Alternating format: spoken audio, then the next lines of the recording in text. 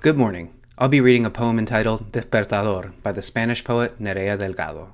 This poem is part of a special project entitled Inversos, which, put together via Instagram, is a group of poems written by Spanish poets as a way to deal with some of the effects of the quarantine. Specifically, this poem has to do with the emotional consequences of being physically separated from your significant other. However, it does end on a hopeful note, stating that no matter the time, no matter the distance, we'll be together when this is over. I hope you enjoy. Perdóname por no llegar hoy a nuestra cita. El tiempo avanza lento y el despertador no suena todavía.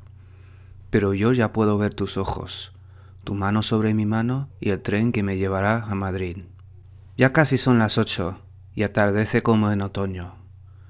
Me asomo al balcón para lanzarte un susurro y eso hago. Alguien toca el violín y sé que también lo escuchas. El susurro se vuelve grito y ese grito sin peligro sale a buscarte. Ojalá te llegue este beso de playa y este tacto enjabonado. Ya queda menos, lo noto. Menos para que termine este alivio de calendario. Regresará la caricia a la piel deshabitada y las calles serán nuestras como nuestra es la paciencia.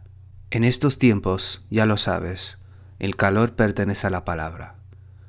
No importa que esta tarde tengamos que querernos por teléfono. No importa, porque tengo un hueco amplio para ti en mi futuro.